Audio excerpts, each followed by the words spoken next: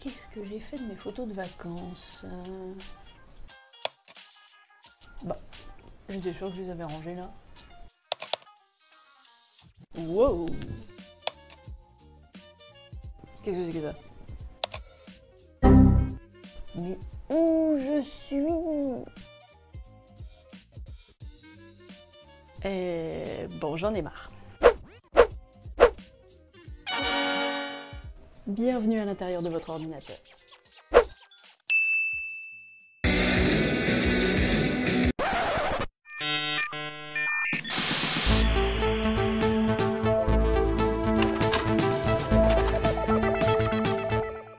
L'arborescence des fichiers et des dossiers. Bienvenue en enfer.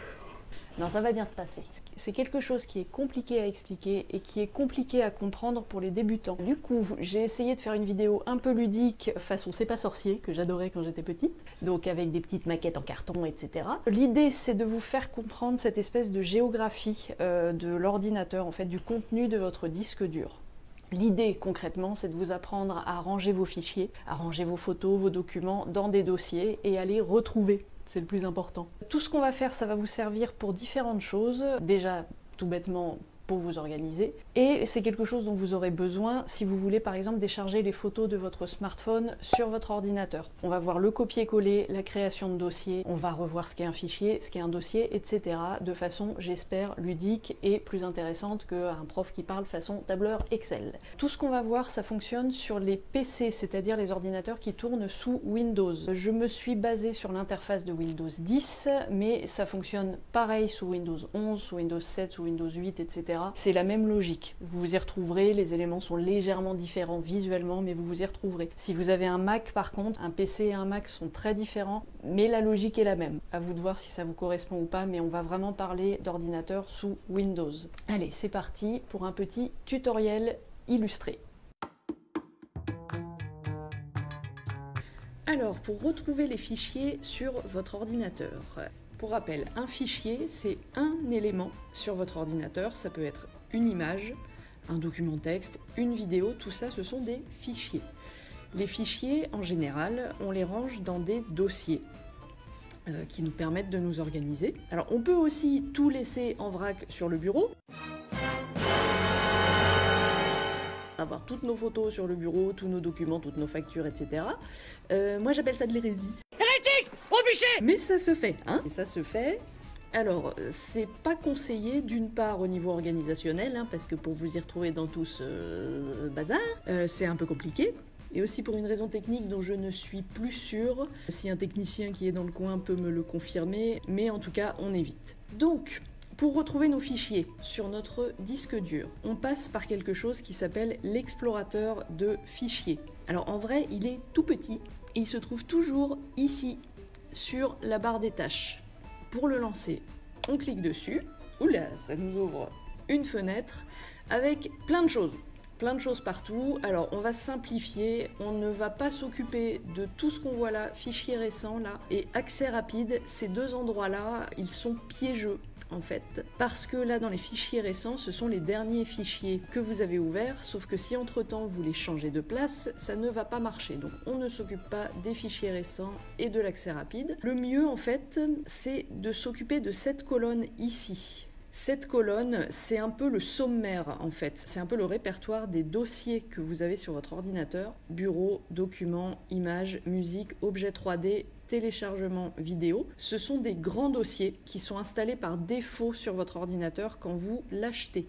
C'est dans ces grands dossiers que vous allez ranger vos propres dossiers. On va apprendre tout à l'heure à les créer. Dans ces dossiers, je le rappelle, vous allez mettre vos fichiers. Si quelqu'un vous envoie par mail une photo de ses chats, vous allez pouvoir les enregistrer dans votre dossier images et par exemple le mettre dans un dossier animaux qu'on va créer tout à l'heure. Vous voyez là, moi j'ai déjà des photos d'animaux qui sont là. On les rangera tout à l'heure dans un dossier dédié. Pour savoir où on se trouve, en fait c'est la complexité de tout ça c'est une forme de géographie, hein, ce qu'on est en train de voir aujourd'hui. L'idée, c'est de savoir toujours où on se trouve sur l'ordinateur. Pour savoir où on est, il faut toujours regarder la barre qui se trouve en haut de votre fenêtre.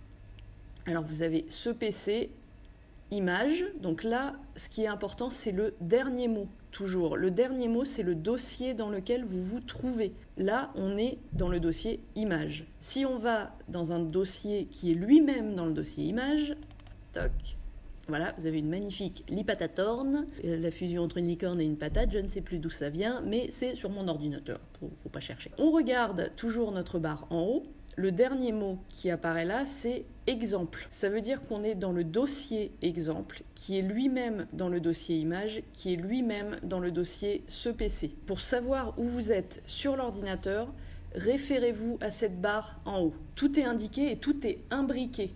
Ce dossier exemple est dans ce dossier image qui est lui-même dans une espèce de dossier euh, principal qui s'appelle ce PC. Si vous êtes perdu, on se réfère à notre colonne à gauche et on vient cliquer sur par exemple document ou image. Hop, on retrouve notre dossier image. Le dernier mot qui apparaît ici, image. On est bien dans le dossier image. Ce qu'on peut faire aussi, on va revenir dans notre dossier avec la magnifique Lipatatorn. Pour revenir en arrière, c'est-à-dire pour sortir du dossier, vous pouvez cliquer sur la petite flèche qui est ici. Vous voyez, retour à image. On clique dessus. On revient au dossier précédent. Tout ça, c'est vraiment une géographie, une gymnastique mentale. Au début, c'est perturbant, ça va venir petit à petit à force de pratiquer. Et vraiment, c'est pour ça que je fais cette vidéo, c'est pour que ce soit visuel. C'est pour ça que je vous ai fait tout un bricolage là avec mes dossiers euh, et mes fichiers, histoire que vous compreniez. Ce sont des dossiers imbriqués. On peut parler de sous-dossiers aussi, par exemple le dossier on entre dedans.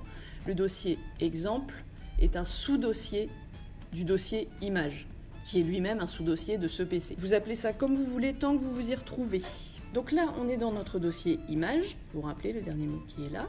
Si on veut aller dans notre grand dossier, par exemple document, on clique toujours dans notre colonne hein, sur le côté document, et là, alors sur mon ordinateur, il y a déjà des dossiers de créer. Ce qui est important à connaître aussi sur euh, ces fameux grands dossiers, alors les principaux vraiment, ceux que vous allez le plus utiliser, documents et images, et téléchargement qui est important à connaître parce qu'on a tendance à un peu le laisser de côté, ce dossier. En fait, c'est dans le dossier téléchargement qu'arrive tout ce que vous allez télécharger. C'est-à-dire quelqu'un qui vous envoie justement une photo de chat par mail. Si vous téléchargez la photo, elle va se retrouver automatiquement dans le dossier téléchargement. Donc si un jour on vous envoie quelque chose que vous savez que vous l'avez téléchargé mais que vous n'arrivez pas à remettre la main dessus, on lance l'explorateur de fichiers, on va dans téléchargement. Et là, on a toute une liste, pas triée, évidemment, hein, parce que je suis comme tout le monde et que moi aussi j'oublie de trier mes téléchargements. Et donc toute cette liste, ce sont des vieux fichiers en fait euh, que vous avez euh, téléchargés euh, dans le temps. Vous voyez là, c'est indiqué il y a longtemps. Ça veut dire ce que ça veut dire. Ce sont des fichiers qu'on a complètement oubliés et qu'on a téléchargés, qu'on a laissés dans ce dossier. Et ce qui est bien, c'est de faire du tri de temps en temps dans téléchargement, de supprimer les vieux fichiers. Vous vérifiez ce que c'est, vous les ouvrez avec un double clic.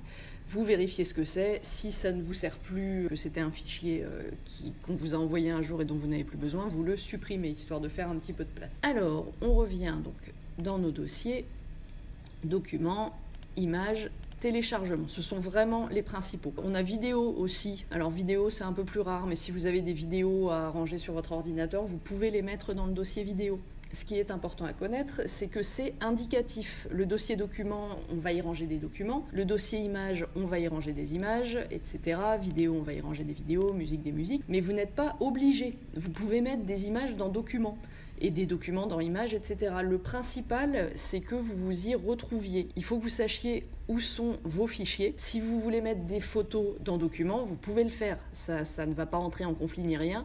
Mais pareil, niveau organisation, c'est peut-être quand même plus cohérent de mettre nos photos dans les dossiers images, nos factures, etc. dans le dossier documents. Alors maintenant, pour créer un nouveau dossier qui vous permettra de ranger vos fichiers dedans, on va aller en créer un par exemple dans Images. Donc, on va repartir du début. Hop, on lance notre explorateur de fichiers. Vous vous rappelez tout en bas dans la barre des tâches. On va venir cliquer dans notre colonne de gauche, dans notre répertoire, sur Images. Dans ce dossier Images, on vérifie en haut on est bien au bon endroit, là on est dans le dossier Images, on veut créer un nouveau dossier pour ranger nos photos d'animaux, là, vous voyez, qui sont un peu en vrac, comme ça. Parce que oui, vous n'êtes pas obligé de tout mettre dans des dossiers. Vous pouvez aussi laisser des fichiers comme ça se balader sans être eux-mêmes dans un sous-dossier. Encore une fois, c'est juste une histoire d'organisation. Donc on va créer un nouveau dossier qu'on va appeler animaux.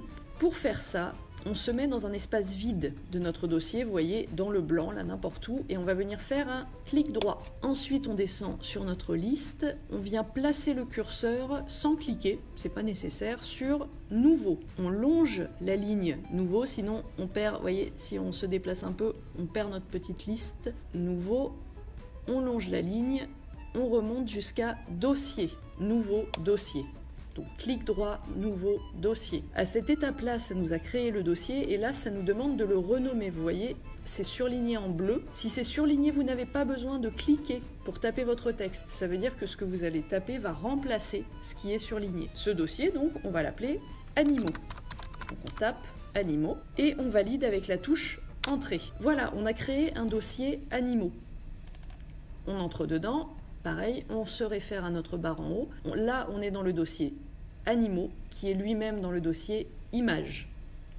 Pour l'instant, il est vide. Ce dossier, on vient de le créer, mais on n'a rien mis dedans. On va repartir en arrière. Hop, et là, vous allez voir que la méthode la plus facile pour déplacer des éléments dans un dossier, elle est très intuitive puisqu'on attrape un élément et on vient le glisser dans le dossier. Là, c'est faisable parce que nos images d'animaux sont juste à côté du dossier. Elles sont vraiment dans le même secteur, ça va être facile de les faire glisser dedans. Par exemple, notre photo de lama ici. Alors, on ne l'ouvre pas. Pour déplacer un élément, on n'a pas besoin de l'ouvrir. Donc, on fait un seul clic sur l'image qu'on maintient et ensuite, on fait glisser. Vous voyez, ça indique déplacer vers animaux. Une fois qu'on est dessus, on lâche la photo. Et on va vérifier, hop, elle est dans notre dossier animaux. On repart en arrière. Notre photo de loup, pareil, un clic qu'on maintient, on fait glisser et on lâche une fois qu'on est sur le dossier. Hop, voilà, vous voyez qu'elle disparaît du dossier image pour aller se mettre dans le dossier animaux. Si on veut en sélectionner deux à la fois, et que les images sont côte à côte, on peut faire un rectangle de sélection, c'est-à-dire qu'on clique dans le vide sous la photo, on monte comme ça pour sélectionner, hop, comme ça on en attrape deux. Vous voyez quand c'est surligné en bleu comme ça, c'est que c'est sélectionné. On en a attrapé deux, hop, vous voyez ça indique un petit 2, on vient le mettre sur animaux. Hop, voilà. On va voir dans notre dossier, on a nos images qui sont dans le dossier animaux. Bonjour. Hop. Voilà, donc double clic pour ouvrir un fichier. Hein. Pour rappel, toujours un double clic. Bonjour le chat. Hop. Et bonjour les lamas. On veut revenir à notre dossier image, deux solutions. On clique sur la flèche en haut ou on clique sur image dans notre, alors ce que j'appelle le répertoire. Hop, voilà on a notre dossier animaux qui a été créé, qui a été rempli avec les images qu'on voulait. C'est la même chose dans tous les grands dossiers. C'est-à-dire que si on veut créer un nouveau dossier dans Documents, on clique sur Documents et on va refaire la manip. Clic droit dans le vide, vraiment c'est important, dans un espace blanc. Clic droit, Nouveau, on longe, on remonte jusqu'à Dossier. Euh, ce dossier, on va l'appeler Facture, si vous voulez ranger toutes vos factures dedans. Facture, on valide. Là, on a un dossier vide qui s'appelle facture, dans lequel vous allez pouvoir venir ranger vos factures. Si vous avez téléchargé euh, une facture Orange, une facture EDF euh, dans vos espaces personnels, il y a de fortes chances que cette facture soit arrivée dans vos téléchargements. Donc, on va cliquer sur téléchargement. Hop, et vous voyez là, j'ai une facture en haut. Si vous voulez la mettre dans votre nouveau dossier, il y a plusieurs façons de faire. Soit vous faites un copier-coller, je vous le montrerai après, soit vous le faites glisser dans le dossier qui vous intéresse. Alors pareil, ça c'est un petit coup à prendre. Alors on se rappelle, notre dossier facture est dans le dossier document. Vous avez une petite flèche ici qui indique qu'on va dérouler l'arborescence. Voilà, c'est un terme technique pour indiquer qu'on va afficher les dossiers qui se trouvent dans le dossier document. Là, on voit qu'on a notre dossier facture qui apparaît. Ce qu'on peut faire, encore une fois, c'est simplement faire glisser notre document, facture, on l'attrape, un clic, on maintient, on relâche pas le clic, un clic, on maintient, et on fait glisser jusque dans notre colonne, vous voyez facture, et ça indique bien déplacer vers facture. Hop, on a mis notre document dedans. On va aller vérifier. On va repartir du début, pareil, pour que vous compreniez bien la manip. On lance l'explorateur de fichiers. Hop. On va dans Document, Facture, et on retrouve notre facture qu'on vient de glisser dedans. On l'ouvre pour vérifier. Ceci est une facture. Voilà. Hop. Tant que j'y suis. Si vous voulez supprimer un document, clic droit, supprimer.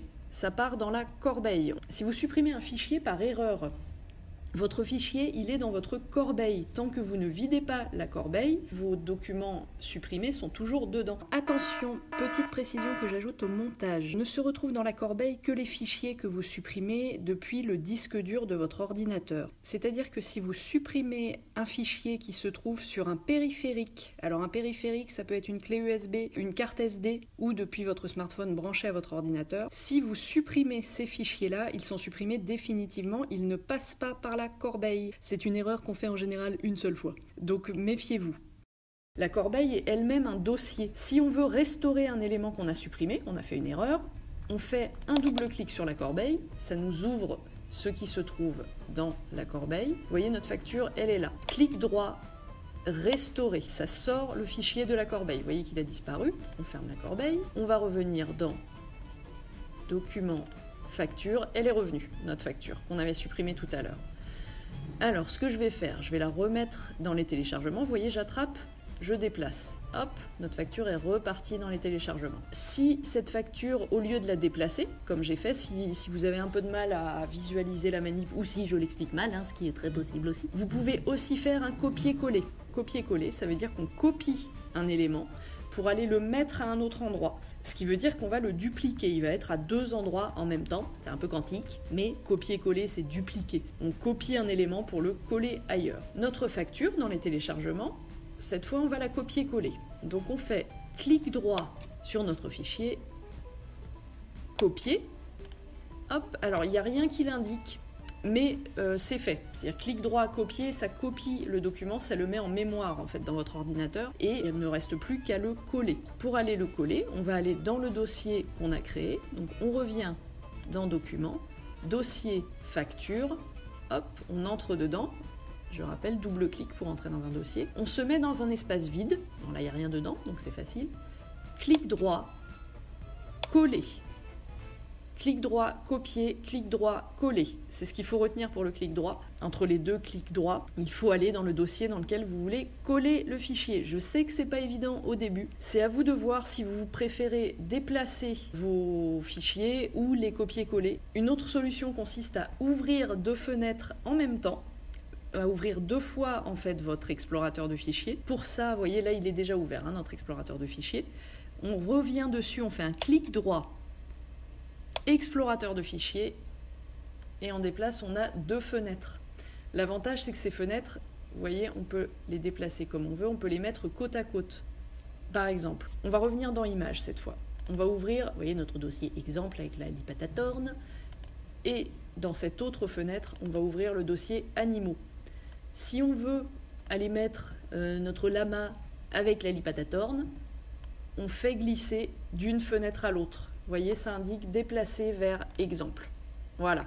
Et on a changé de place notre fichier. C'est une autre façon de faire, c'est-à-dire ouvrir deux fois l'explorateur de fichiers, mettre les deux fenêtres côte à côte et naviguer entre les deux. C'est à vous de voir quelle méthode vous préférez. Glisser, déplacer, copier-coller et ou les deux fenêtres, euh, et là encore avec des glissés déplacés. Alors un petit dernier point sur la corbeille, on va revenir dessus quand même parce que ça c'est quand même sacrément pratique.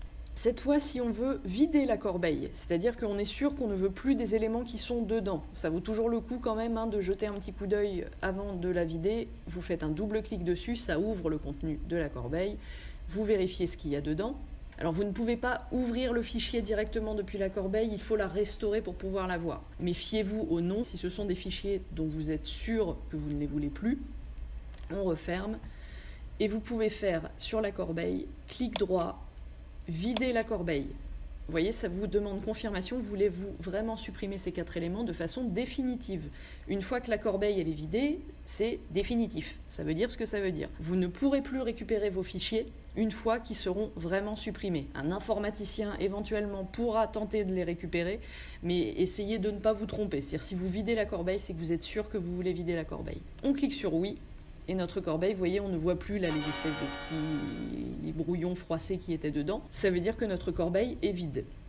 Vous n'avez pas besoin de faire ça tous les jours. Vider la corbeille, euh, faites-le une fois de temps en temps, une fois, je sais pas, une fois tous les trois mois, ça dépend de votre usage de l'ordinateur. Même chose, c'est une question d'organisation, de faire un petit peu de place, parce que dans la corbeille, vos fichiers sont certes compressés, c'est-à-dire qu'ils sont plus petits, mais ils prennent encore de la place sur le disque dur de votre ordinateur. Donc de temps en temps, videz votre corbeille.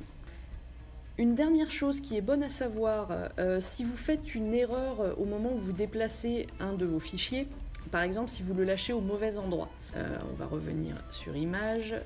Notre chat, par exemple, on veut le mettre dans un autre dossier, on l'attrape et hop, on s'est trompé, on l'a lâché dans document. Là encore, on l'a vu, mais si on ne sait plus où on l'a lâché, c'est en fait on voulait le mettre dans image. Mince, notre fichier n'est pas dans image, on l'a lâché mais on ne sait pas du tout où. Si on fait une erreur comme ça, on appuie sur les touches CTRL et Z CTRL Z, ça annule la dernière action. Ça ne fonctionne pas pour tout, mais pour un déplacement de fichier, par exemple, ça fonctionne. On revient dans Animaux, il est revenu là, notre petit chat.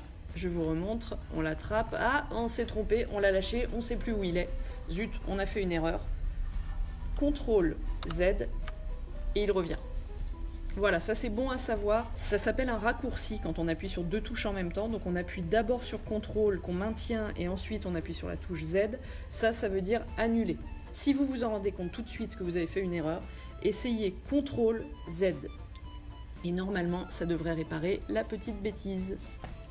Une bonne chose à savoir aussi, c'est que vos fichiers comme vos dossiers, vous pouvez les renommer à n'importe quel moment. Si vous faites une erreur dans le nom ou si vous voulez changer son nom à un moment, vous pouvez le faire.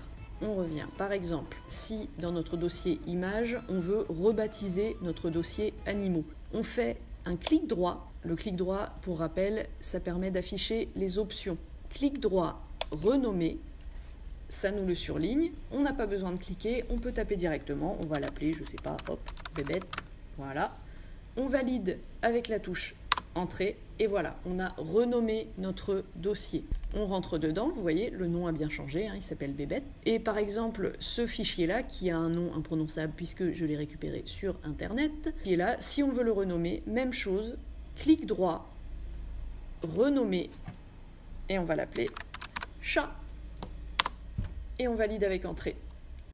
Voilà, J'espère que j'ai été assez claire. Encore une fois, c'est pas évident à transmettre et je sais que ça n'est pas évident à comprendre. Prenez le temps de re-regarder la vidéo éventuellement et surtout pratiquer. Il n'y a pas de secret, pratiquer, essayez. Vous pouvez pas faire de grosses bêtises. Encore une fois, retenez bien que tout, quasiment peut s'annuler, que vous pouvez récupérer des fichiers dans la corbeille, donc vous pouvez faire des erreurs, vous pouvez faire des essais. C'est comme ça qu'on apprend. Et maintenant, c'est à vous.